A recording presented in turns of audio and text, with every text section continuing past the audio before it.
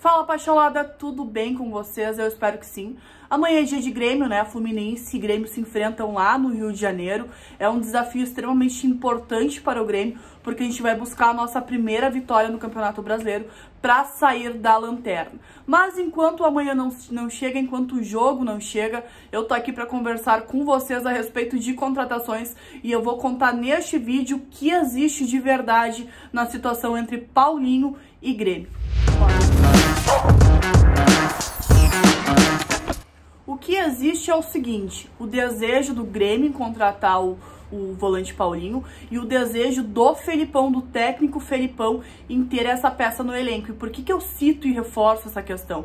Porque o Felipão quer muito essa contratação. O Felipão entende que é o volante que precisa neste momento para dar um encaixe no meio-campo do Grêmio, né, do tricolor, porque o Felipão tá fazendo-se uma avaliação de plantel e detectou que ali no meio, no camisa 8, falta uma peça e que o Paulinho é esse jogador.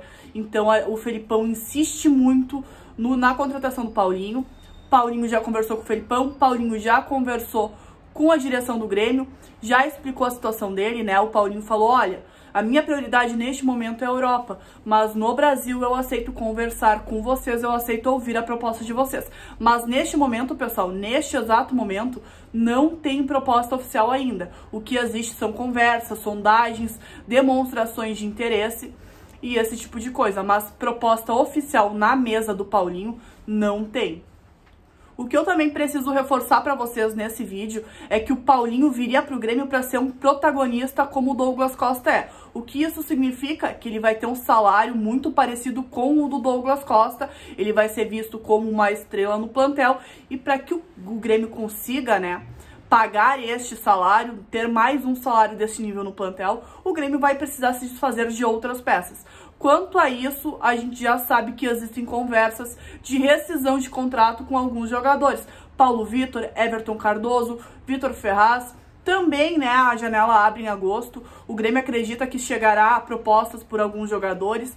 Então a gente vai acabar tendo uma certa baixa no plantel para conseguir trazer mais um craque pro elenco, né? Então, pessoal, existem chances de trazer o Paulinho pro, pro Grêmio? Sim, existem muitas chances. Vai ser mais uma negociação difícil, mais uma negociação complicada. Não tanto como foi com o Douglas Costa, até porque o Paulinho tá livre no mercado. Mas com certeza existem sim chances, mas dependem muito do próprio jogador. É o, o interesse do jogador que falta neste momento.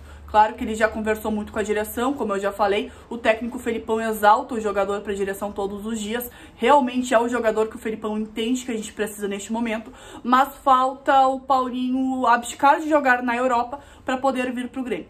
É basicamente isso, pessoal. Tentei ser bastante objetiva nessa questão toda, para que vocês entendam. Espero que vocês tenham compreendido e também espero que vocês tenham gostado. Então, por gentileza, deixem um like neste vídeo Comentem, tá? Aqui embaixo o que, que vocês acham. Vocês concordam com a ideia do Felipão, do Paulinho ser neste momento uma peça importante para compor o nosso elenco? Enfim, é isso. Se tu ainda não é inscrito no canal da Rádio Pachola, por favor, se inscreva. Conteúdo legal, tá tendo quadros novos, né? Eu não sei se vocês já viram o Gol do Dia, que sai todo dia ao meio-dia. Tá simplesmente sensacional. Então confiram aqui no canal do YouTube da Rádio Pachola. E é isso. Bom final de semana a todos e até amanhã, porque amanhã tem Grêmio e a gente tem jornada aqui no YouTube.